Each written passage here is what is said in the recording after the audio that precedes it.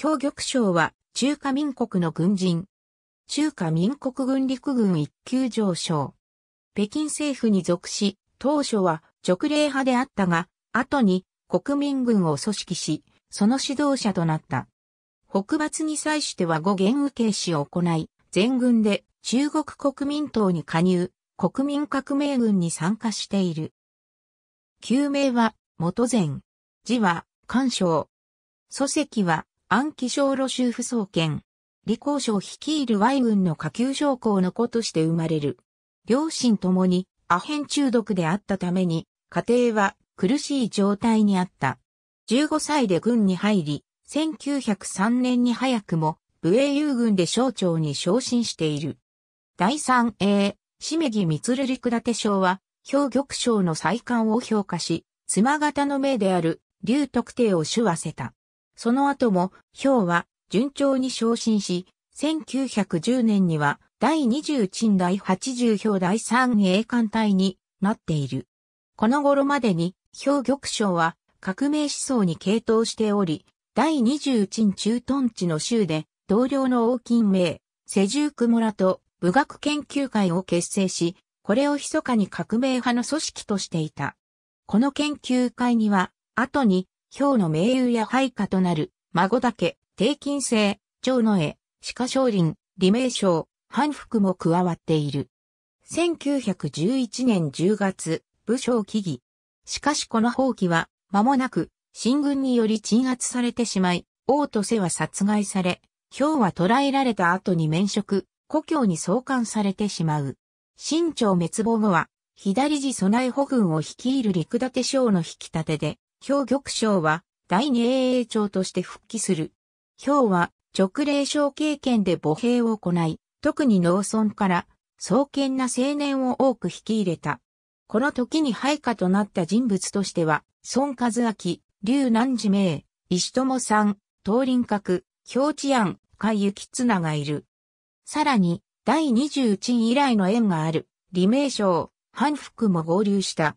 翌年、左次備え保軍は慶守軍に改祖され、兵玉省は左翼第一団団長に昇進し、今度は河南省の上一帯で母兵を行った。この時に配下となった人物には、高根貝、吉王鳥正、両官営がいる。そしてこの時期に、兵玉省は、キリスト教の洗礼を受けた。さらに兵は、部隊全体に洗礼を受けさせ、兵営中に礼拝堂を設立し、日曜日には牧師に、部隊での礼拝、講義を行わせた。このため、兵は、クリスチャンジェネラルと呼ばれることとなる。1914年春、陸県省の白明討伐に、兵玉省も従軍することになり、左翼第一旅旅長に昇進した。この旅は、間もなく、第14旅に改祖され、同年秋には、第16混成旅となり、引き続き、兵が旅長を務めている。またこの頃、長野へも、兵の下に駆けつけ、合流した。北京政府時代の兵玉省フーズ封印、チャイナサード江戸、1915年12月、北洋軍元老の大志鎮が、全国の旅長以上の指揮官に、遠征外の皇帝即位を擁護する電報へ名を連ねるよう求めてきたが、兵玉省はこれを拒否した。間もなく五国戦争が勃発すると、兵率いる第16混成旅も四川省へ五国軍迎撃に赴くことになる。この時同時に第四混成旅も四川入りしたが、第四混成旅に属していたしか、少林が兵と再会し、その配下に加わった。兵玉将は、五国軍との戦いを望まず、まず、長野江を五国軍第一軍司令官、蔡唾の下に派遣し、停戦の密約を結ぶ。さらに、鹿、少林の提案する策に従って、四川特軍鎮の繁栄独立をそそのかし、1916年5月にこれを成功させた。翌月、遠征外は病死に至り、五国戦争は五国軍の勝利に終わったが、以上の行動から見ても、兵の貢献は大きかったと言える。同年7月、兵玉将率いる第16混成旅は直令省を老房に移住する。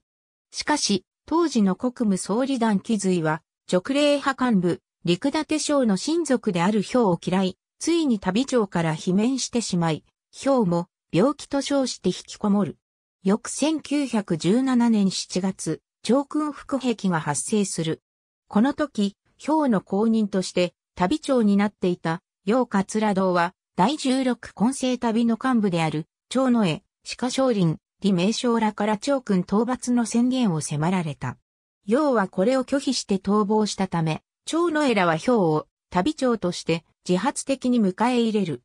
ヒョウも直ちに北京への進軍を号令し、長君を撃破した。1918年2月、氷玉将は五法戦争を起こした孫文の討伐を断気髄から命じられた。しかし、湖北省部穴まで進軍したところで、氷は進軍を停止し、南北和平の電報を発する。それでも、結局、断の強い命令もあって、湖南省まで進軍、五配布と協力して、同省を制圧した。6月、小生陳樹氏に任ぜられ、上徳に駐屯している。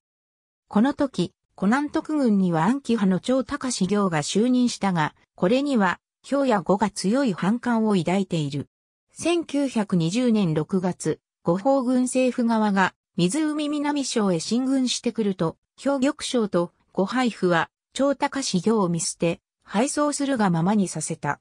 その後、氷率いる、混成第16旅は上徳から観光に移り、ここで、孫文との交渉を持ち始める。11月、河南省を信用に移住した。間もなく安直戦争が勃発して、直令派が勝利、宋根と子が北京で権力を掌握する。1921年5月、先制特軍に任ぜられた演奏文に随従して、氷玉将率いる混成第16旅も、先制入りし、暗記派の前、先制特軍鎮守藩を撃破した。この戦功により、混成第16旅は第11市に拡充され、氷は市長権先制に粛総非司令に任ぜられた。8月、先制省の統治に失敗した縁が自殺し、氷が公認の先制特軍となる。翌1922年4月、第一次笹口家戦争が勃発すると、氷玉省は河南省へ進軍して、法天派に味方する河南特軍、長を撃破した。この功績により翌月に河南特軍に任ぜられたが、ご配布の横槍で10月に罷免され、北京で陸軍検閲士に就任することになる。氷は当初不満を抱くが、総根の説得もあってやむなく就任し、北京南園で自軍の訓練に励んだ。1923年5月、西北変貌、ただし弁に任ぜられている。同年10月、総根がまかない戦により大総統に選出されたことには、氷玉省も内心で反発し、さらに孫文が派遣してきた助権、木フの説得もあり、総と五配布の討伐を決心する。この時氷は、かつて武学研究会で同志だった第15旅旅、長剣大名陳樹氏の孫竹とも連絡を取り、密約を結んだ。さらに、孫竹がかねてからの盟友である、第24市市長固形欲を表に引き合わせて、仲間とし、三人は放棄の機会を伺うことになる。1924年9月、第二次、笹口家戦争が勃発すると、後配布が熱下方面へ法天派の迎撃に向かい、北京の防備が手薄となる。そして10月22日、氷玉省はクーデターを決行して、総根を捕獲し、さらに進出優待条件の廃止を宣言して、海底不義を資金城から追放した。これが、いわゆる北京政変である。24日、氷は国民軍の結成を宣言し、自らは国民軍総司令権第一軍軍長、固形翼が副司令権第二軍軍長、孫竹が副司令権第三軍軍長となった。そして、孫文に対して北京への北上と今後の協議を呼びかけ、孫文もこれに応じる。同時に法天派の張作林や失脚していた段木髄も承知し、11月24日、段が臨時失政に就任、新政権が始動した。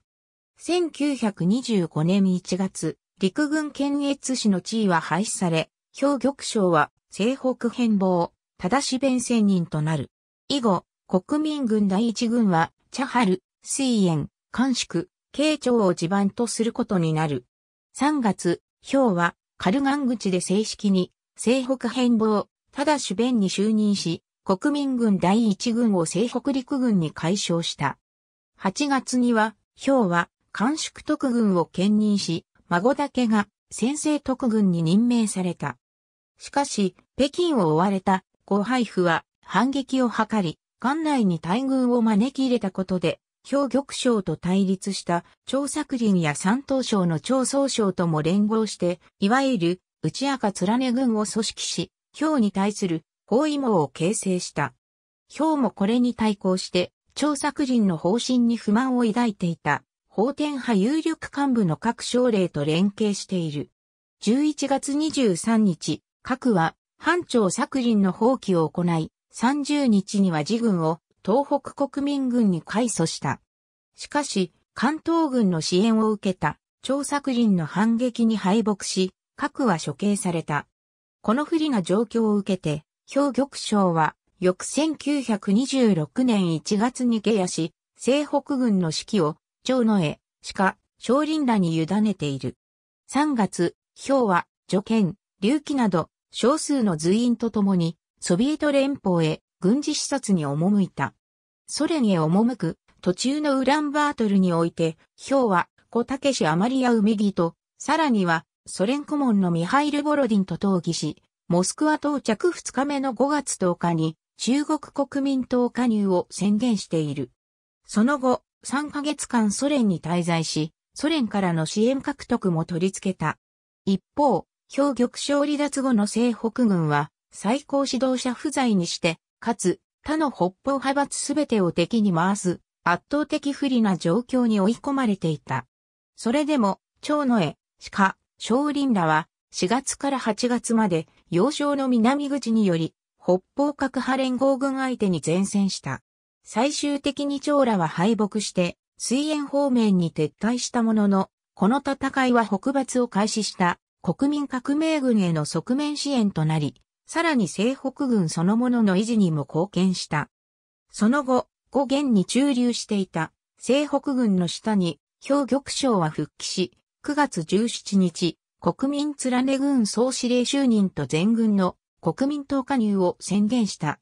これがいわゆる五元受け主である。以後、兵は国民連ね軍の軍事訓練、政治訓練を再実施し、全軍をさらに精鋭化させた。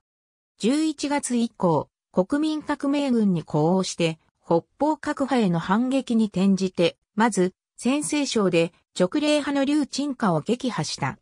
翌1927年初頭に、国民連ね軍は、国民革命軍第二集団軍に改祖され、兵がそのまま総司令を務める。そして、先生からカナンへ進撃し、5月には、落葉を、鄭州を次々と攻略した。蒋介石同年4月に、蒋介石が上海クーデターを起こすと、兵玉省も省に組みした。6月には、王朝明、蒋介石と相次いで会談し、反共路線への道のりを固めている。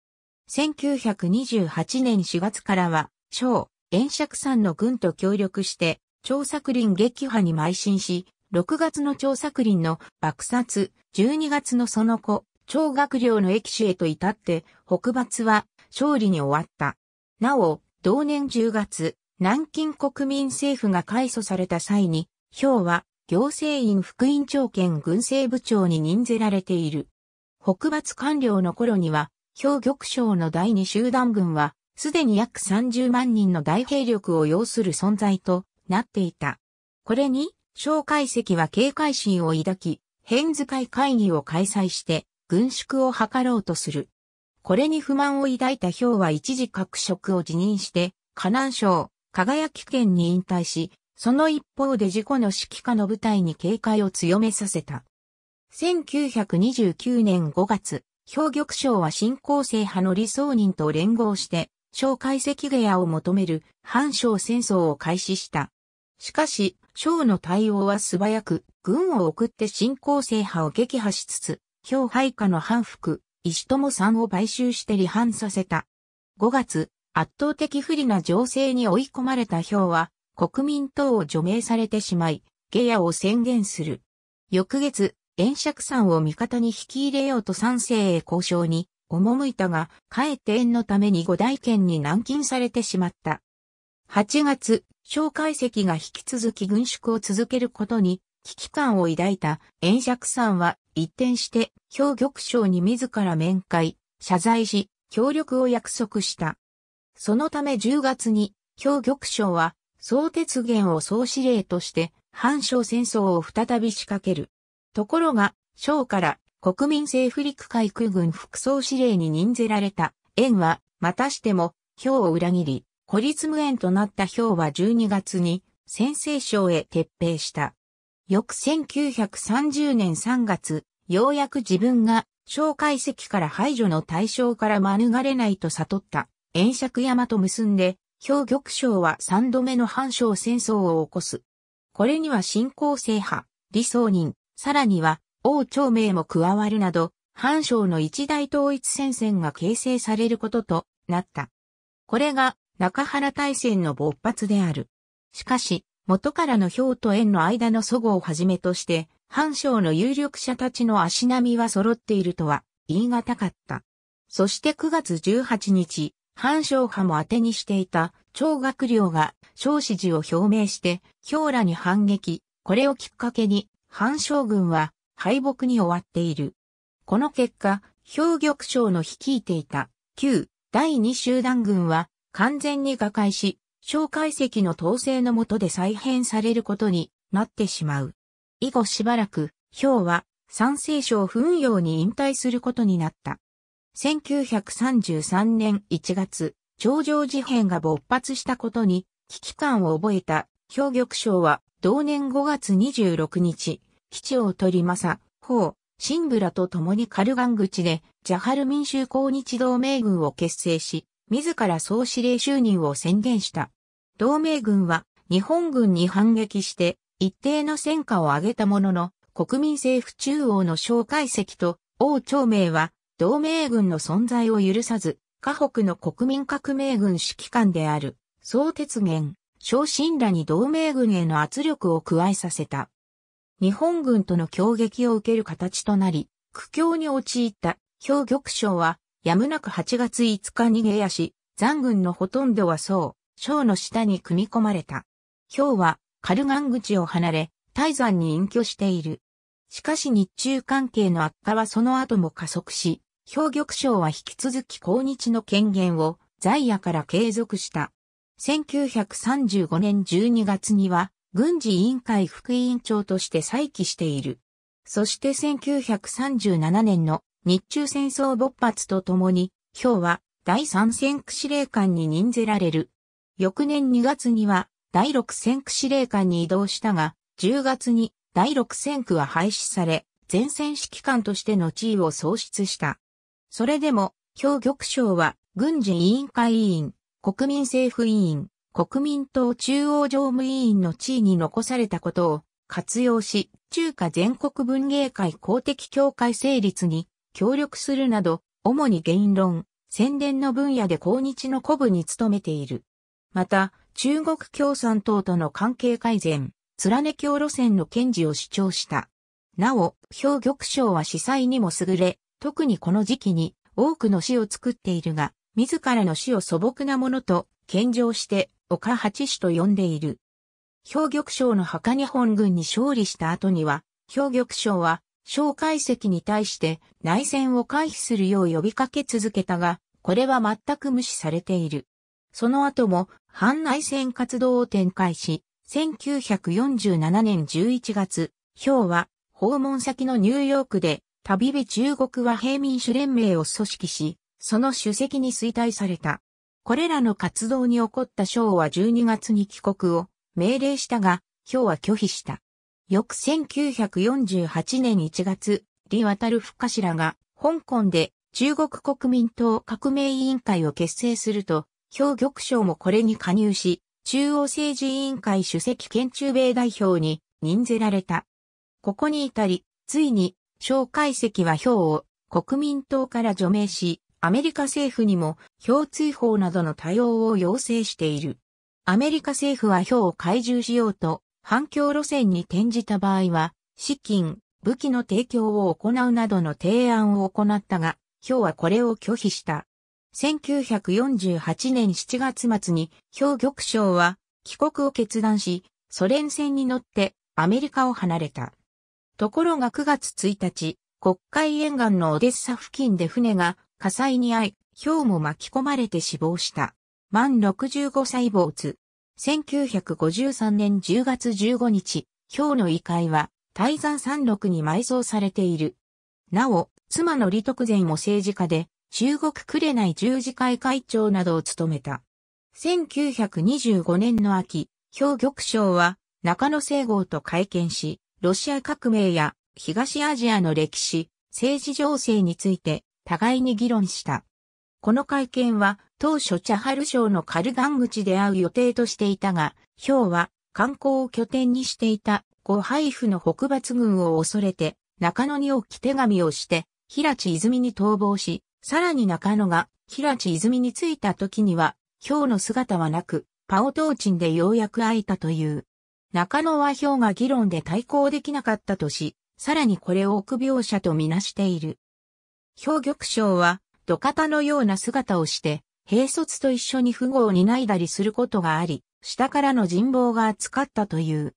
北京政府時代、編集五国戦争、長空副壁後法戦争北京政変国民軍、国民政府時代、編集中国国民党、国民革命軍北伐中原大戦茶春、民衆抗日同盟軍日中戦争中国、国民党革命委員会北京政府関係、編集、陸検証総今後配布超作林各省令、国民政府関係、編集、小解析演釈さん理想人王朝名国民軍後故障、編集長の高架少林総鉄限定金星、劉薫薫国民軍13号の保つ、編集、反復、孫和明石友山頂維持杉の綱竜、南寺明義記、小列東林閣村連、中間田峰ほど、危険桂金賞長石兵。